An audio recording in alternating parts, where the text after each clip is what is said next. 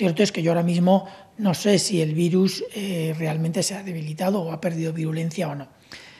No, intuitivamente no me parece que sea la explicación más eh, asociada al tipo de pacientes que estamos viendo ahora o a los pacientes que estamos viendo ahora, aunque desde luego podría ser y tendremos que valorar estos estudios con, mucha, con mucho cuidado y con mucho interés. Si el virus ha debilitado, por supuesto es estupendo y bienvenido sea.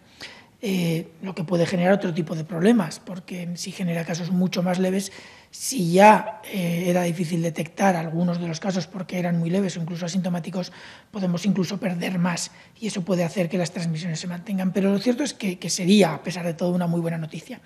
En todo caso, eh, se haya debilitado o no el virus, lo que sí que es cierto es que ahora mismo está teniendo un impacto sobre la morbimortalidad mucho menor.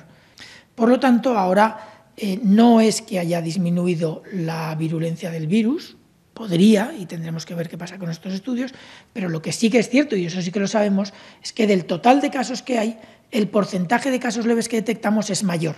Y por lo tanto, la percepción de virulencia del virus ahora mismo, tanto en los hospitales como en los centros de salud, como incluso entre la población, sí que puede ser eh, que sea de menor virulencia.